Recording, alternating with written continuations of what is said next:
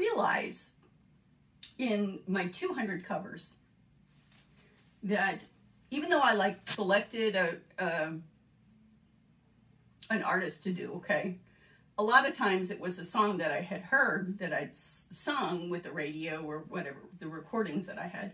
Um, but I didn't realize like that I could like literally like this, I would call it music channeling. I literally would get up out of bed and say, well, who do I want to play today? And I had all these songs stuck in my head.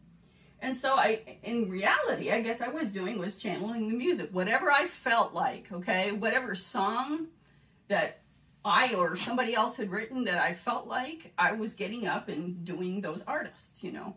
And um, one of my favorite artists is Sara Bareilles. I mean, I, I just, I just love her. And it doesn't matter, you know, what album I listen to, there is a song for everything I'm feeling. And I am just, I, you know, I, I'm just, I love her as an artist because she's so genuine, so authentic.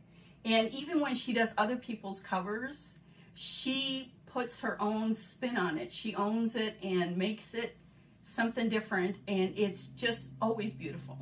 And I, she's just, uh, she's just someone I've always wanted to meet that just seems like a really beautiful soul. And I, I was feeling this song this morning. But when I started to play it, you know, I was listening to her recording because I'm, I'm very auditory. And so I'm listening to her recording and I'm thinking, you know, I'm not sounding like her. I'm comparing myself to her. And, um, and then a voice in my head said, you need to, you need to do this music the way you feel. You need to own it and it will sound good. So I'm going to do this song and I'm going to just, I, am going to call this the channeling music channel, I guess. whatever I feel compelled to bring you that morning, um, whatever I'm feeling, and the lyrics kind of jive with what I'm doing, I'm going to, um, I'm going to start doing that for you. So, um, this, the song I'm going to do today for you is by Sara Bareilles, obviously, and it's called Islands. Okay.